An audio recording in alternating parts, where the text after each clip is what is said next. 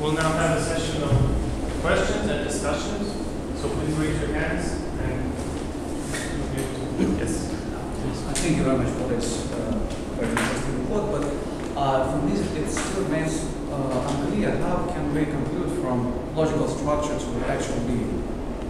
Well, I, I, he- here's what I've said. That Quine once said you are ontologically committed to what you quantify. I think that's perhaps a misleading way of putting it. I think one way is to say, Quine will say, I hear philosophers talking about being and what really exists, and I don't really understand it. So I've got a new method. I, I can tell you what we quantify.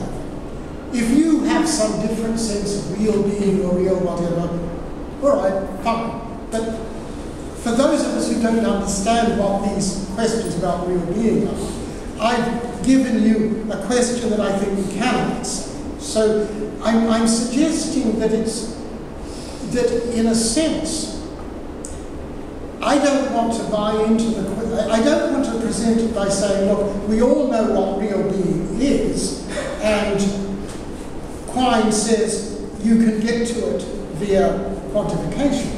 I want to say, look, we may have some idea about what real being is, but I'm not sure that we really know what we mean, what we philosophers really mean by it. So, how can I say to you, all right, if you're the sort of philosopher who doesn't really know what we mean by that, I've got a trick for you. Take a lot of ordinary non-philosophical sentences, systematize their logical structure, see if you can find quantificational structure. And if these are all, if these are all true sentences and you need that logical structure to see them, that's good enough for me. And if you have some deeper notion of being, well, yes, okay. What are the real existing uh, entities? Are they um, the values of uh, variables or are they uh, the semantics of quantifiers? Well, they, they will be, perhaps what the best thing to say is, look, I'm, I'm giving you tests for saying, here's what a language must look like if it has quantificational structure. And when it has quantif- quantificational structure, we express it using first order language. We then also find that that structure can be expressed by a meta language in which we have a domain of individuals and we do all these things. Um, I like Carnap's idea to say that in doing this we have adopted a framework. We have, adopted, we have, we have, we have agreed to talk to each other in this kind of way. And we know how to do it. I can show you how to do it. And this is, this is, this is how we do it. Now, if you want to, and to justify it, we say, well, look, I find that when I do this, when we, when we talk this way, when we formalize it, when we then, when we then describe the formalization in the meta language, which is just doing the same thing one level up, and then if somebody says, well, how do I understand the meta language? There are two replies. One is, well, you just do, don't you? Or if you really don't, we go to a meta-meta language and so on. We do this. This is an activity we find it profitable. Uh, I'm, I'm not, I don't want to speak for Carnap here, but one way is to say, look, it's not, the world has an input. I mean, we, we are in a world that cooperates. When, when, when, we, when we do this, when we engage in this linguistic activity, we find that the world cooperates with it. So it's not, it's not as if all this is just made up, because the world might not have cooperated. It might have been that it might have, I mean, we adopt, in, in most of our human concerns, we adopt a thing language. It's not, it's not obvious how good a thing language is. People have talked about rainbows. When, when does one rainbow different from another? But when we use language, when we formalize it, we really adopt it as if it was a thing language. And one reason why I suspect that philosophers have made, made no progress on the uh, issue of vagueness is that I think that the world only partially cooperates with us in.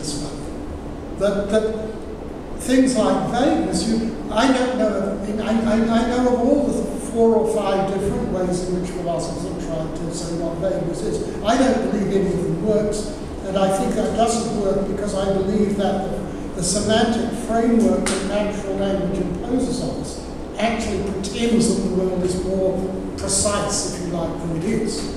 But nevertheless, we get by. And so the world cooperates with us enough that the kind of semantics and therefore the kind of ontology that we read off from it, the kind of ontology is an ontology which the world cooperates with us about. And now, if you like, that's perhaps taking a metaphysical or anti-metaphysical stance. Yeah. Thank you. Yes, another question? Um, I've got a question concerning, for example, your um, sentence number 10. Because your sentence number 10 is just a clear example of what I'm going to ask about. And this is namely that there is presumably always a risk that a particular way of expressing things is already infected with some metaphysics. And not a metaphysics in, innate to the language itself, but just normal metaphysics common to the philosophical community. Because, for example, this way of putting this, there is a world in which is quite clearly influenced by some metaphysics, by some philosophy, by some academic activity. Because as far as I can imagine, uh, the so-called layman would never express it like this. And this suggests that presumably, when investigating what kinds of um, expressions and ontological commitments exist, uh, exist in ordinary language, we have to outline what counts as ordinary language, not some kind of regimented language or influenced language. Yes, you, you, you, yes, I mean, I agree with a lot of that, and in fact, one of the reasons I put those sentences 9 and 10 is that I didn't, didn't want to use them for precisely those reasons. Um, I was more interested in questions like, uh, one day every now miserable will be happy. I'd assumed that that is a sentence that an ordinary language speaker is probably going to understand. So there are two answers I can give you.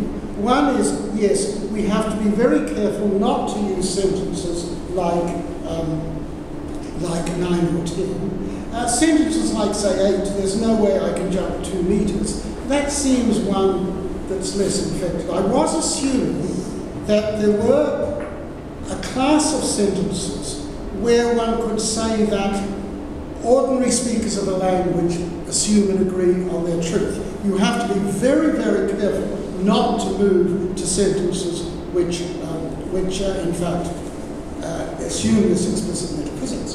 But of course, you're also right in another way, in that it may well be that there is a metaphysics implicit in our ordinary thought, our ordinary thinking about the world. And that was linked with an answer to the previous question because I suspect that the ordinary semantics, and here I don't mean the semantic theory of, of those of us who look at the logical structure of language, I mean that the kind of person, I know in New Zealand probably we haven't was a certain sort of radio interviewer is going to say, give me a yes or no answer. Is he a bad man? Is he not a bad? You know, and in fact, you start to say, well, in some ways yes, in some ways no. No, I want yes or no. And I, I actually firmly believe that the ordinary nature of language is actually a nature that makes the world seem far more precise and give it far more metaphysical structure than we're really entitled. So I've got two answers for you. One is yes, if you are going to engage in this technique, you had better make sure that every one of the sentences you use is something that a non philosopher would be prepared to understand and accept as true or false. And I agree with you that sentences like um, 9 and 10, particularly 10, is something where, uh, and in fact, many philosophers, I mean, Arthur Prior, I believe, would have said 9 just isn't true because I know he didn't believe in instants, believe in times. Um, but he did believe that Socrates once drank hemlock. And if you ask an ordinary person, you know, was there ever a philosopher who drank hemlock? Well, they might not know, but it's not a philosophical language. So I think in part there are certainly sentences that exhibit more, too much philosophical or semantic theory to be useful for the purposes I have in mind. And there, but there is also the danger, which I think is equally real, that ordinary sentences that ordinary speakers do understand may well be infected with more metaphysics than, than, than we are literally entitled to. Is it what we are going to, what we are trying to reveal actually by investigating Maybe we are after the innate, we are looking for the innate metaphysics already present in the language. Maybe this is what your proposed method or hint method is aiming at. At finding the primordial innate metaphysics underlying language. Right, and, and I suppose there's, there's, there's too much of a logical positivist in me to be comfortable with saying this because I'm not sure that I know what this primordial metaphysics is. I know what it is to say the world cooperates with people who use a language in which quantification works like so. And therefore, in that sense, I'm happy to say, well, so and so's exist. Because if the world cooperates in a language which allows us to say, um, where anyone who wanted to come to this lecture would have had to come to Moscow to do it. If the world cooperates in such a way that that sentence is true, then we can say there is something about the world that means we can use a language which has a structure of a certain kind, and in that sense you can say something is being revealed about what is really there, namely, the world cooperates with us when we use a language in this way. But if you then say, but look, I'm, I'm a seeker after real truth or I'm whatever, then, then I will have to say, look, um, I'm not terribly comfortable with that. And for those who are not comfortable with that, I'm certainly offering something which can, I think, be read off with the aid of logical and linguistic theory. If there is some deeper sense,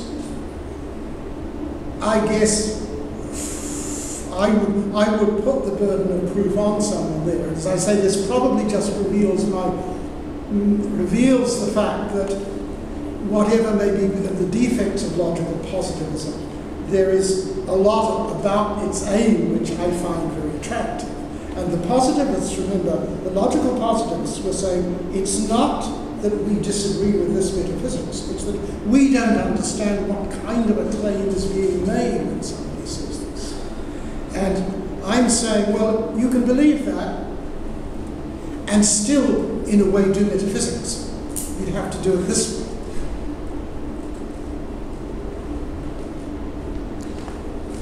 Okay, any other question? Alex, Alex Hitchcock.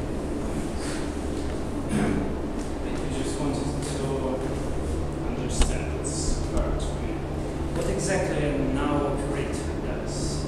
Because, um, well, it is, it is uh, objectable that um, in many contexts now refers to the moment of the utterance, though there are other contexts where it refers to other times. But if, if we talk ontological, so highly intuitively after all, I ju- just don't have enough information to grasp it.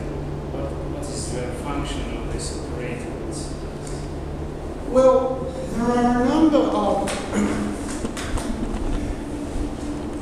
going back to someone like Prior, I mean, Prior didn't like to quantify over times, but if you imagine that we can quantify over times, take a sentence like it's now four o'clock, so that the NT would really mean four o'clock is now. But of course, it's not like now, because you might say, um, it's now, it's actually a little bit past it. So although four o'clock is not now, four o'clock used to be now, in a certain sense. Now, in one sense, of course, that's in English, that's nonsense. We can't say four o'clock used to be now because only 12 minutes past four is now. But the way I was using that now operator was to say, look,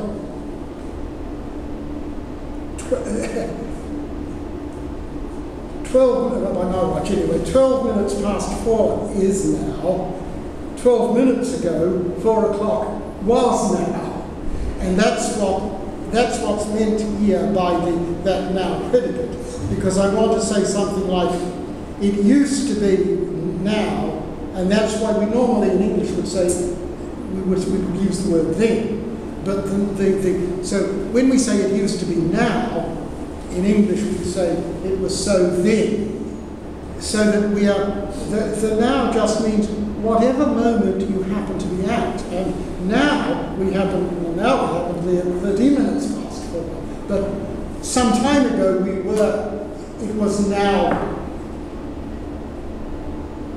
four o'clock was now in some sense of now. And now that's why the, the predicate now in those formal languages is not exactly like the way the word now uses in, in English. And I expect in many other languages. I um, but logically, it simply means that if you believe in a tense language, you have to believe that there is, there is a single moment that is now, but for every moment that is now, that moment will one day not be now, but it will be the case then that it used to be now.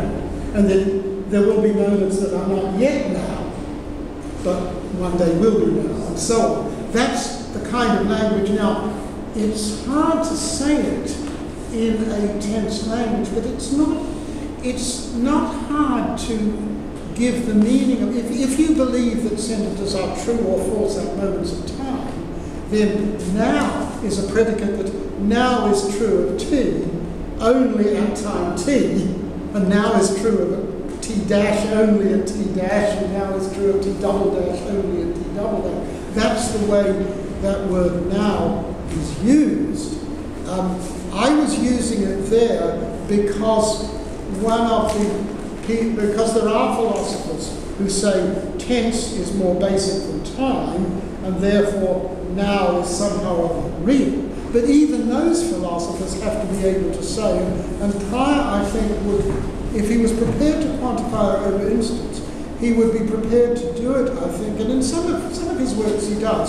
He would, he would want to say, well, look, by this used to be now, I don't mean the sense in which that can't be said in many natural languages, but I mean the logical sense in which every moment, every past moment, uh, used to be now, and every future moment will one day be now.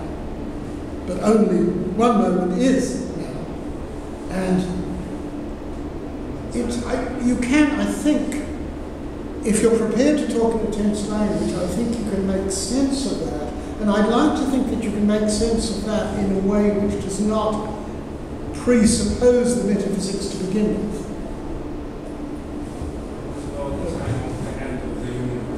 Sorry? will be now. Will, will, will, The time of the end. Will, will time end? Will be now? And The moment, the last moment of universe. ends. Well, there might be a moment which is now, and there'll be no. Do you, do you mean that once time has ended, there will be nothing that is even now, or even used to be now? Yes, once in the Well- time of the end of the existence. the- Well, sure. I mean, if, if, if, if after, I mean, it, it depends. If you say time ends, it depends on, I mean, someone like, well, I don't know what, what one would say. If, if, if you say that time has ended, then it, you can't really say what would happen after that, because there will be no after that. So there are no, there is nothing to be now.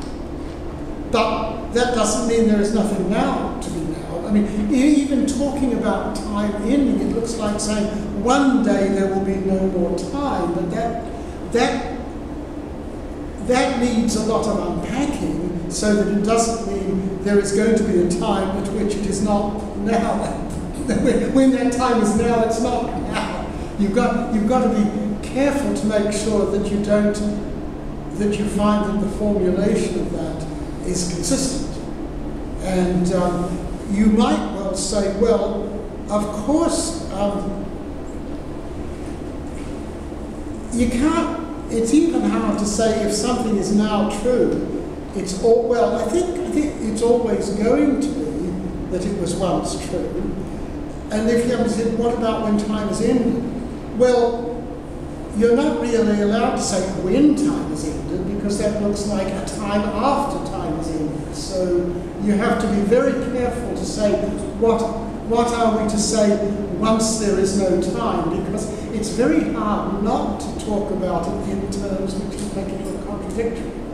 So you, you I mean, well, I'm not saying you can't do it, but it's just that if we're talking about the ending time, I think that it's, there is certainly no bother to producing a formal language in which there is a moment such that there is no moment, moment after. And it's true of that moment that if something is then true, there will be a moment in which it used to be true. That certainly will be. There will be some normal laws of tense logic which will fail at the last moment of time. But do we actually in natural languages mean time moments, saying now? You, you mean I mean, does it correspond to our um, practice of using this natural language word now? Do we refer to moments? Just to, talking intuitively, not formally. Oh, right. Oh, you mean you mean that normally when we use I mean, this is another thing that I have not suggested. I have talked as though temporal language, temporal natural language discourse talks about truth at a single instant. But of course, there are certain constructions. For example, if you say in English, we have what is called the uh, imperfective tense or the present continuous tense. We can say somebody was crossing the road. And of course, to cross the road is not something that happens at a single instant.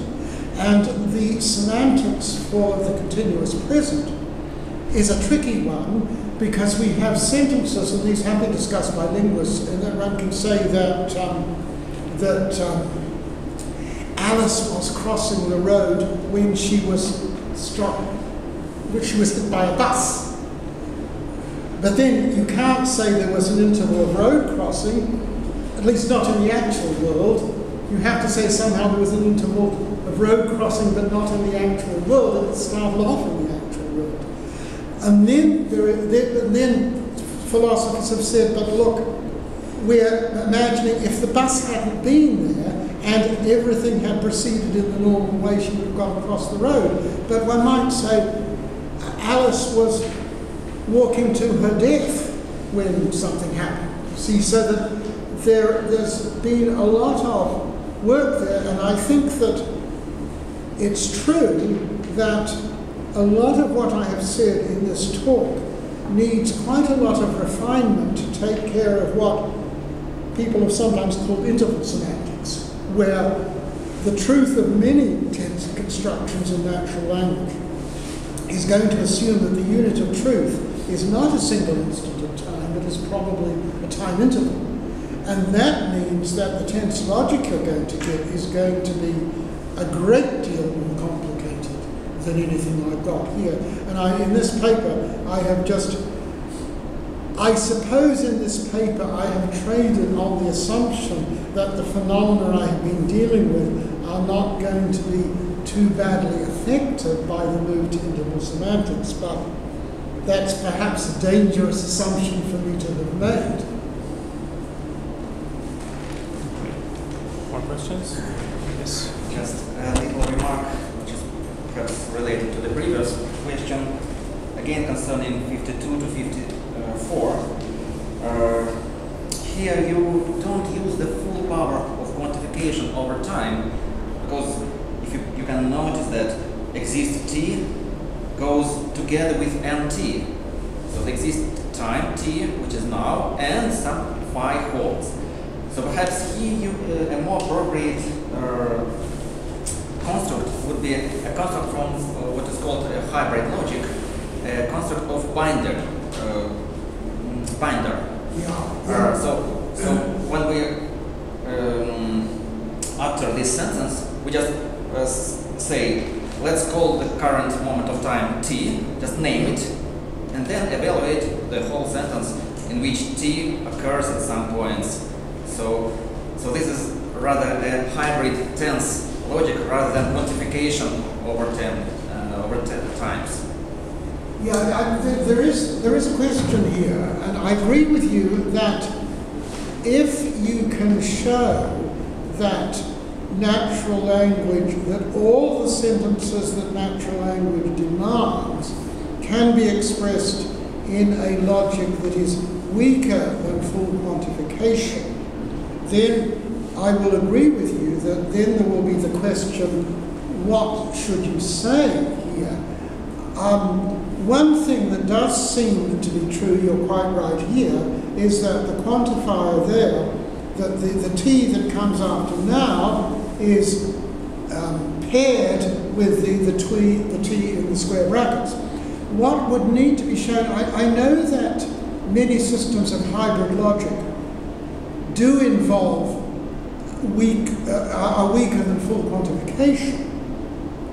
What I'm less convinced by is that the respects in which they are weaker will do everything that natural demand, natural language demands. So that the issue is not can you develop a hybrid logic that is weaker than full quantification, uh, but is this going to be good enough for everything that natural language demands? And that I'm a little bit less sure of. The other question, of course, would be well, what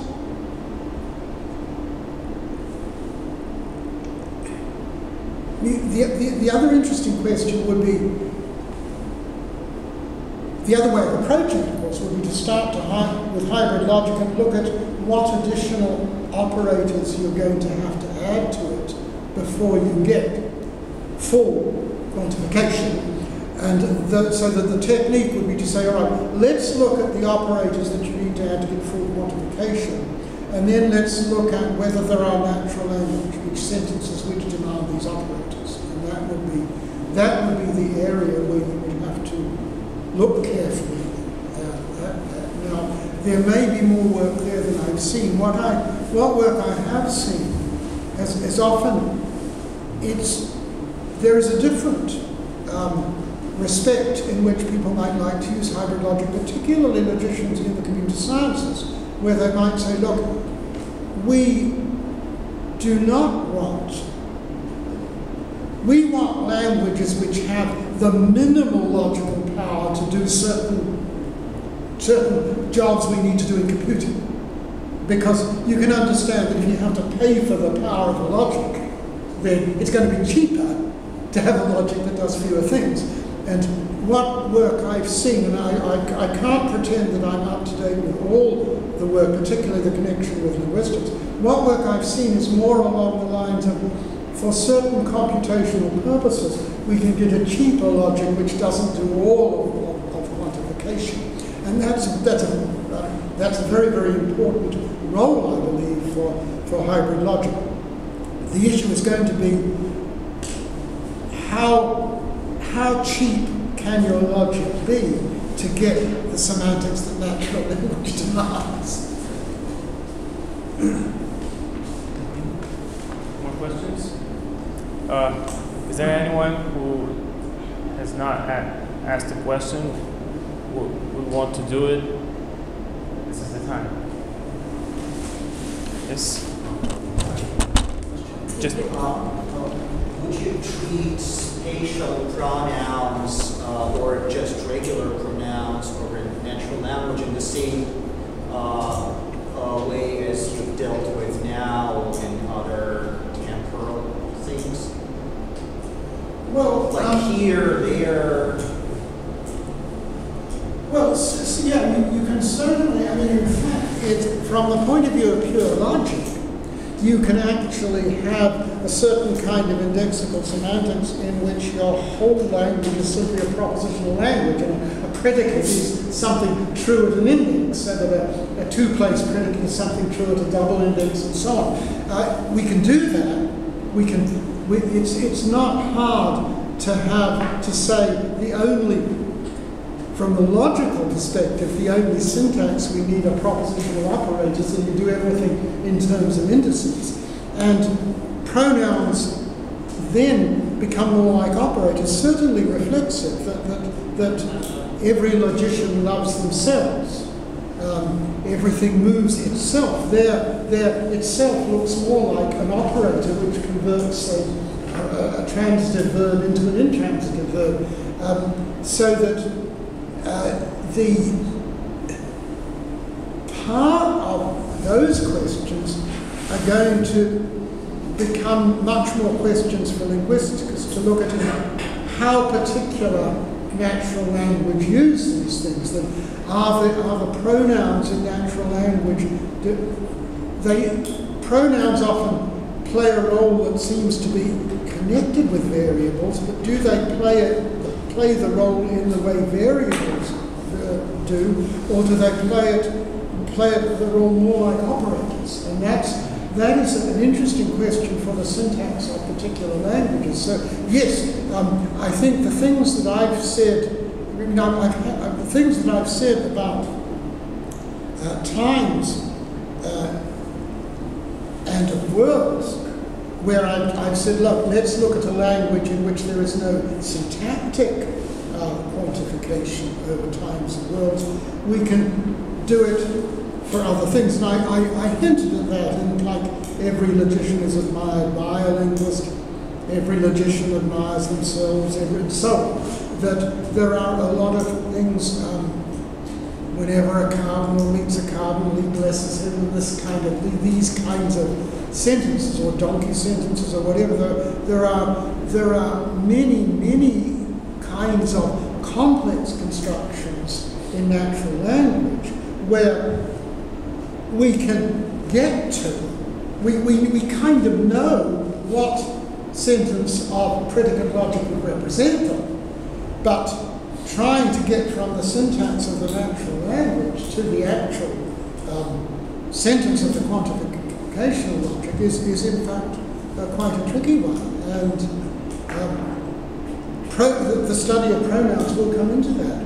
I know Was, was he, he had a paper called Egocentric Logic where he, um, he wanted to say that we really need a person index. And in fact, there's a famous article by David Lewis called De Se Knowledge, where he says, look, somebody thinks he's Hume.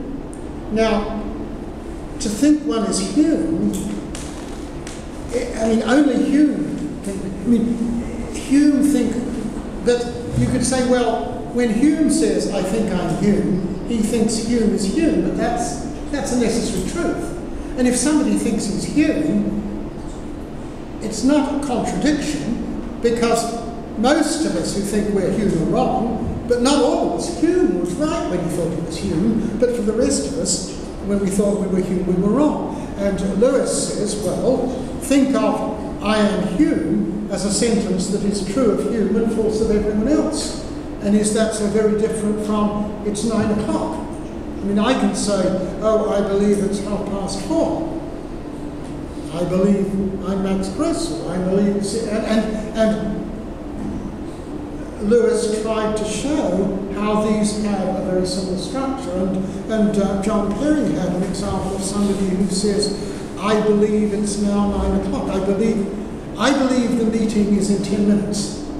And one person thinks that it's, um, say the meeting is supposed to be at 10 o'clock, and one person says, I believe it's in 10 minutes, and they say this at 9 o'clock, and they're wrong because they think it's 9, it's 9 o'clock. The other person knows that it's 9 o'clock, but thinks that the meeting, meeting was, was scheduled for 9 o'clock. So you have two different sorts of, of ignorance there. So there is some evidence that perhaps we should have times and worlds and maybe people and other things. And but fr- from the point of view of logic, you can think of Tarski's idea of think of it, the Tarski analysis of a predicate is a formula true at a sequence of objects, namely the objects that satisfy the predicate. So from the point of view of logic, you can have sentences and operators, but that may or may not be a plausible syntax for any particular language. And exactly how pronouns come in um, is going to be, I would suggest, as much a syntactic as a, as a logical matter.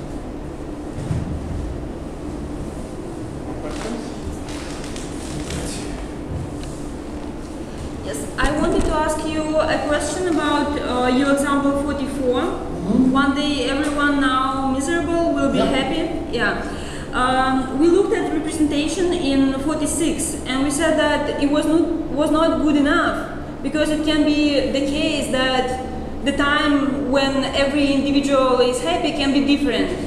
But cannot someone say, look, this formula does not demand that the time is different. It can be still the same time. Cannot someone say that this is still the representation for 44, but uh, only one particular case when this formula is true? Oh, yes, I mean, I, I don't want to make a claim about whether or not that English sentence can mean uh, 46. It possibly can.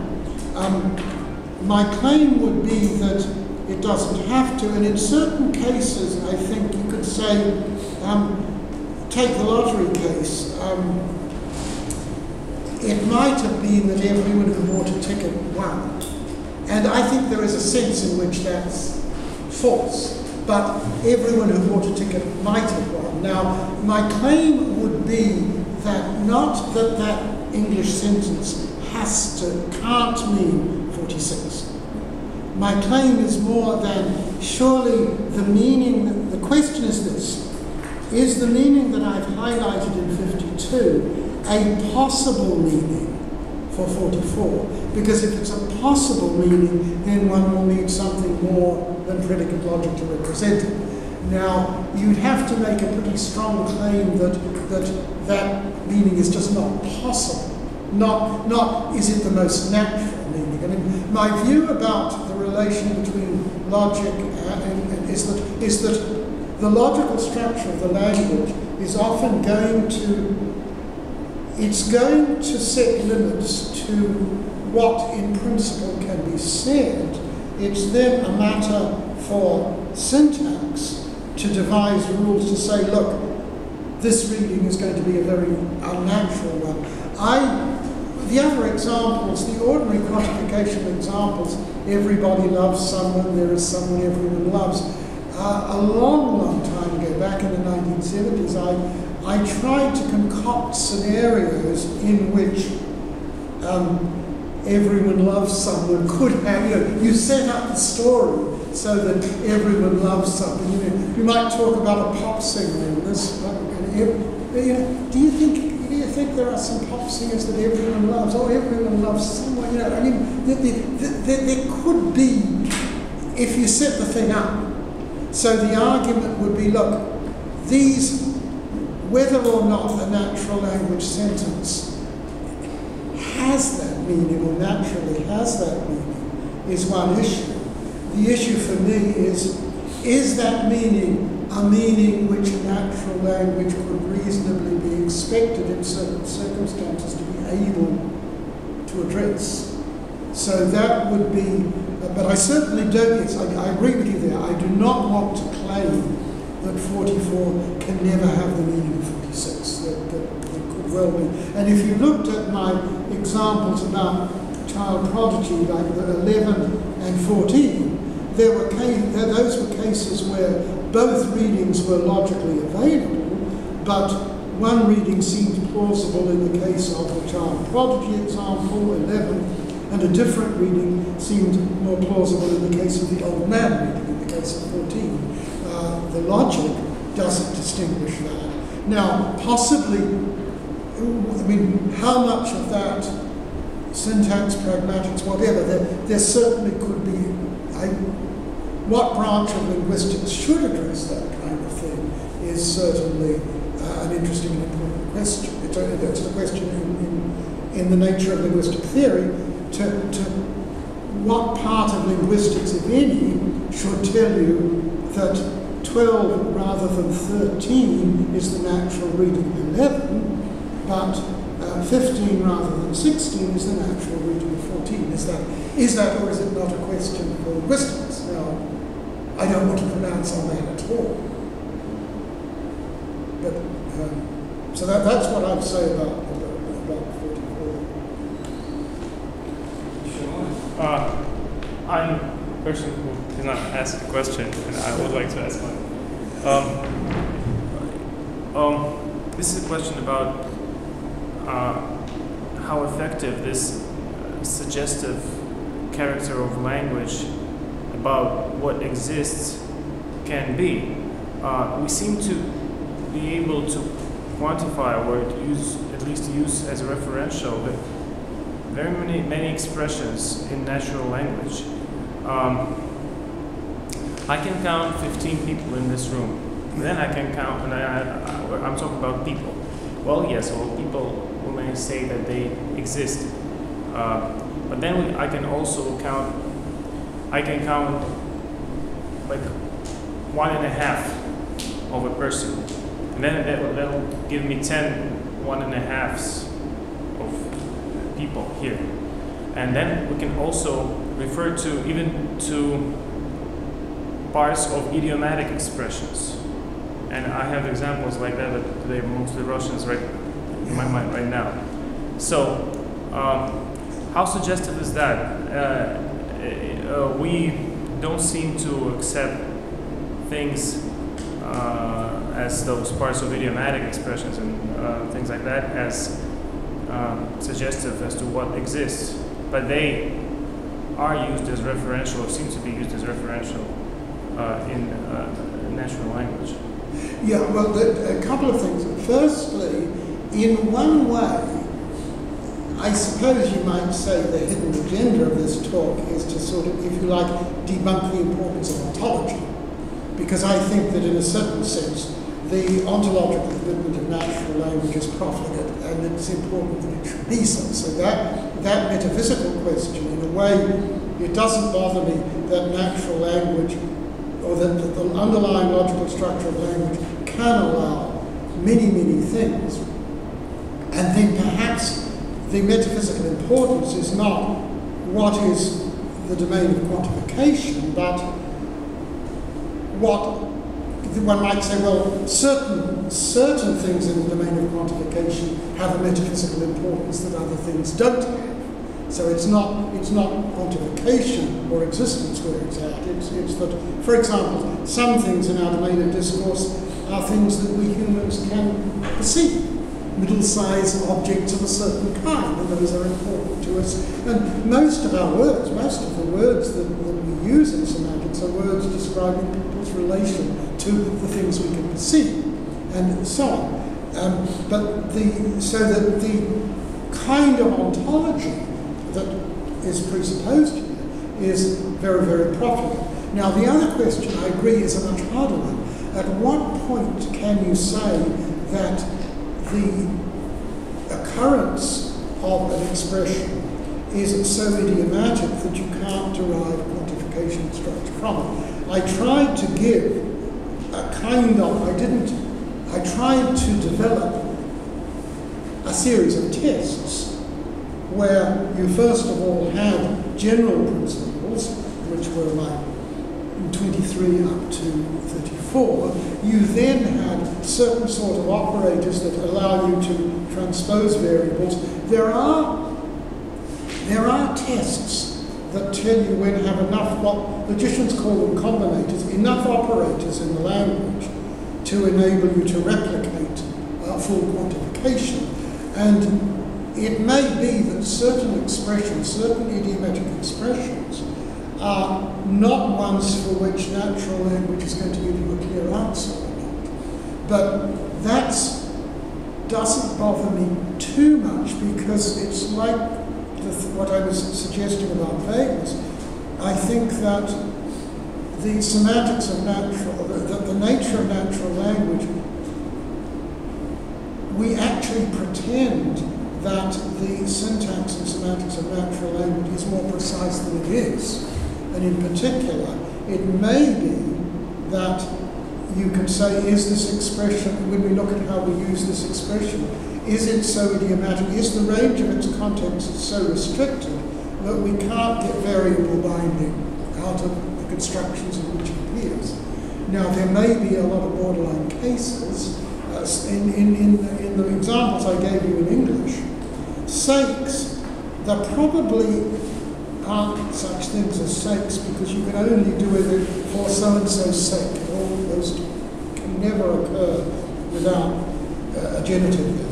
And that, of course, means you can quantify. You're really thinking of the phr- phrase for x's sake, and the only individual is x there. That looks like that's the case. A chance of rain, that's a trickier one. Um, can you talk about the same chance? Um, but is it, is it trickier than, say, a rainbow, where is it the same rainbow that you see in ice? Can we both see the same rainbow? We can't, what is the nature of a rainbow? Is it something we don't quantify over, or is it something we quantify over, but, but we all see different rainbows and so on? We can talk about the same rainbow. So that there are a lot of there are a lot of cases where the test, tests may not be precise enough. And in those cases, then we have to look at, but it, it'll be are the constructions in which the, this phrase can occur such as enable you to represent its quantification, that is to say, are the things you want to say such that whatever mechanism you use that's adequate to saying them is going to be a mechanism that is strong enough to define quantification. And there may be, there may be borderline or difficult cases. Now, I'm not sure whether that answers what you had in mind. It, it, it, it does. Um, are there any questions for someone who has not yet asked a question? Yes, please. Just a quick question for understanding.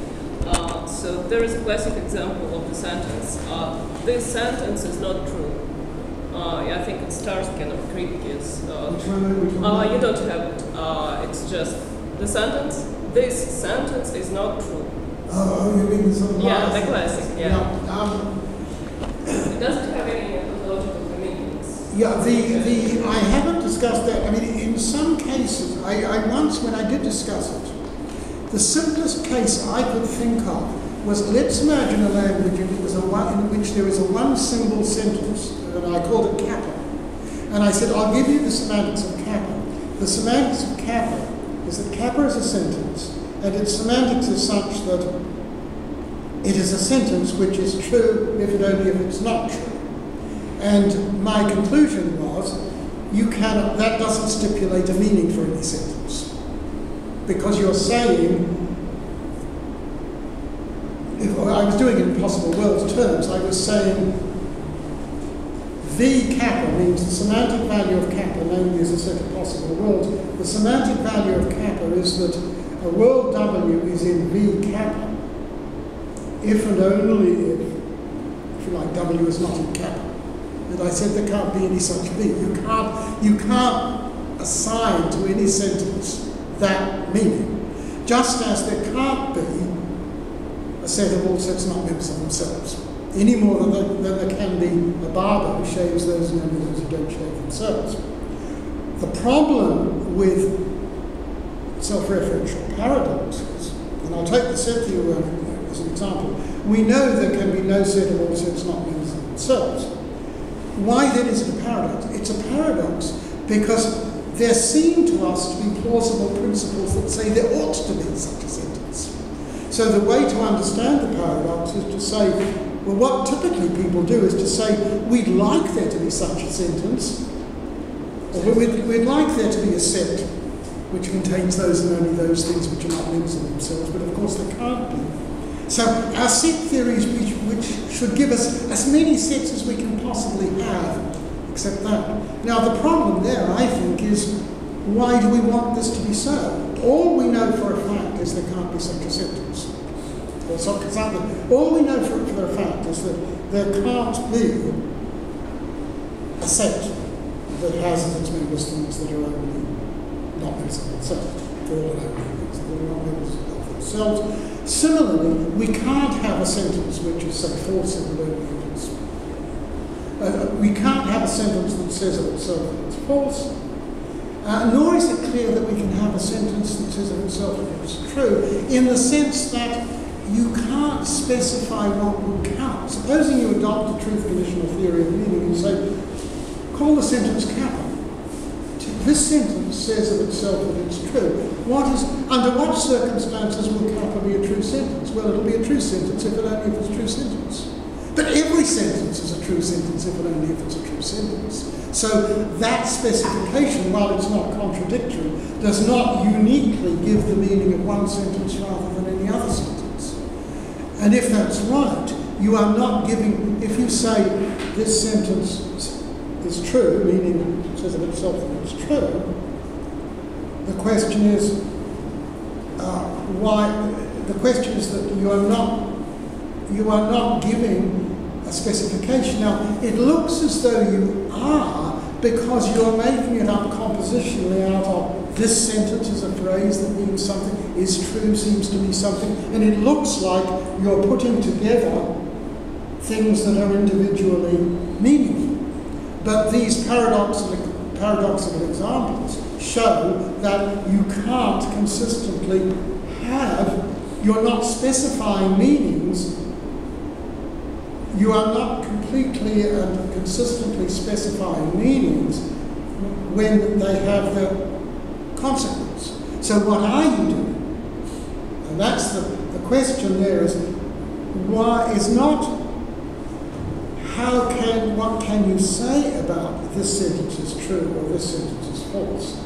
We know that there can be no meaning specification which satisfies one, and every meaning satisfies the other, so it's not a unique one. The question then is well, what is it that makes us think that we have specified a meaning in these cases?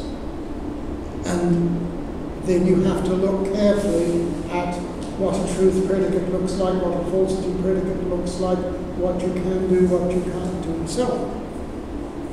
So I don't have a particular answer, but I'm simply saying that in these cases, we know that certain things we want to have we can't have. And so two questions arise. One, how close can we get? And the other is a question, why do we think we should have these things? Because the, the set theory paradox is interesting because it looks like we do want to say there, there ought to be a set whose members are those and only those things which are not members of themselves. But nobody wants to say there ought to be a barber that shaves those and only those people who don't shave themselves. So the paradox is only why do we think there should be such a set? Why do we not think there needs to be such a barber? Why is the barber not a paradox? Why is the set theory a paradox? Well, it's a paradox because we have to work out why it is we think there ought to be such a set and why it is we don't think there ought to be such a barber. And the same, I think, is true of the semantic paradoxes. But I don't, in this talk, I mean, I, I have very little to say. I have no view myself about what to say about the semantic paradoxes. So the answer is yes, I, I, um, I haven't said anything about the semantic paradoxes, and I don't have anything to say about them. But something has got to be said about them because they're there, and therefore they're going to be a problem for anybody's semantics. Yes. Uh, can you just quickly, well, once again, um, spell out your uh, overall uh, meta-ontological uh, stance? What about more traditional kinds of arguments appealing to scientific theories or intuitions philosophers think are? Uh, do are they uh, legitimate at all? Well, I, I, here, here's an example. Um, nominalists seem to be people who believe only individuals exist and persons don't. And what would they mean by individuals? Well, one argument for nominalists would be they mean things that you can name and touch and are in, in sensory contact with. So I would say no, it's, it, it's legitimate, but I would prefer to reconstrue them as saying that of the things we quantify over, there is a certain subclass of things which we are in sensory contact with. And what metaphysicians do might perhaps, from, from the point of view of a logical positivist, one could, a charitable logical positivist might say, what these people are really doing is highlighting the importance of a certain subclass of the things we quantify. And that that, and that, that is a legitimate task, but that's the charitableness in the logical positivism. Say, well, they're not really doing what they think they're doing, though they are doing something which is legitimate. And they're explaining, look, um, these are things we can actually give names to. These are things that we are in contact with. These are things which are important to us. They're giving a list of those things. So your answer, it's a yes and no answer. You're saying, am I poo-pooing traditional metaphysics? And in one sense you could say, yes, I am. But if you're poo-pooing something, you've got, you've got to have an account of what these people are doing. If, somebody says that such and such, the sensible world is not part of reality, then one at least has to have a good account of what somebody who says the sensible world is part of reality is saying.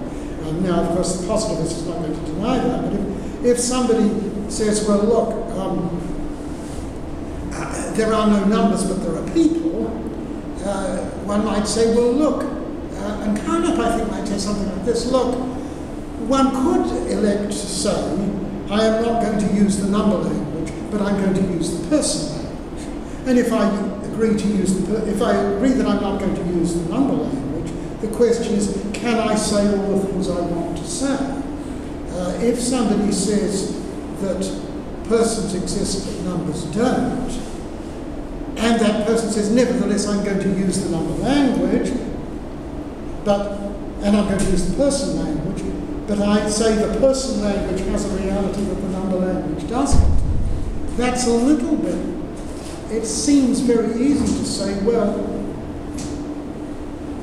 aren't you simply saying, look, we can use the number language with the person language, but we're attaching a certain kind of importance or reality to the person language that we're not attaching to the number language, which is rather like saying persons are important to us in a way in which numbers are not. Persons have all sorts of things which are crucial for our language, in, in, in that we say, well, we can interact with them, we can do these things with them. So there would be a role for metaphysics, but the role would be, well, look,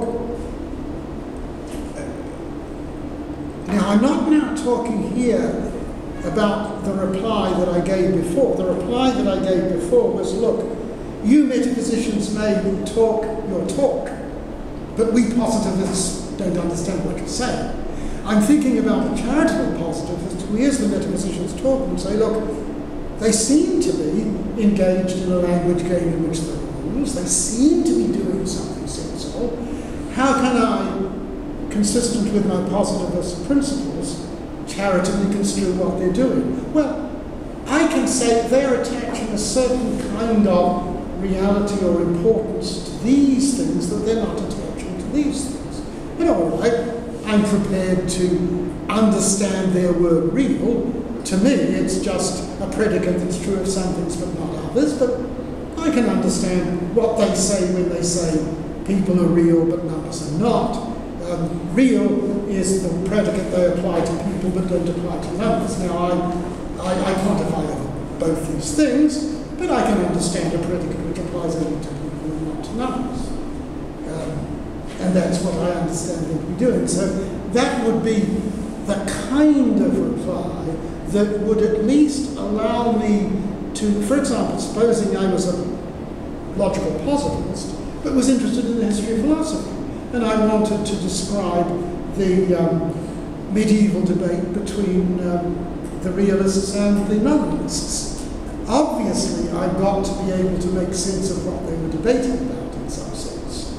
And it is, of course, difficult. I mean, this is one of the things Quine in his essay on what there is talks about how the person who doesn't believe in certain things is a disadvantage person who does, because the person who does can just say, well, I believe in all these kind of things, and if you say, I don't believe in all these kind of things, it's very hard to say what sort of thing you don't believe so. So um, I'm happy to say there is the language, there is the, the uh, language framework in which we make this distinction. Carnap does. Kind of does say we can have universals in our language. We can. Carnap does claim I know what it is like to use a language in which there are universals, and I think it's and, and I think it's a useful language. Now, maybe the dispute between universe between realists and nominalists is really a dispute about whether we ever need the more powerful language, whether it's profitable to have the more powerful language. That may have been Carnap's dispute. Or it may be to say, well, look,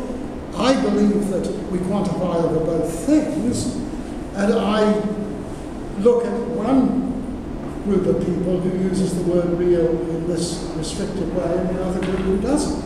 And it looks like they are debating there. But then is it a real debate? So Carnap would probably say it's not a genuine debate in some sense. But yes, you're right. We have got to make sense of what people are doing who think there is a debate where we might say there is no debate. We've got to be able to describe what it is they think they're doing, even if it's not something we know. So yeah, you've got to, um, and I, I give it some suggestions, but yes, it's a real problem what you do in describing what people are doing when they are engaged in a metaphysical dispute, which you're inclined to think is not a genuine dispute.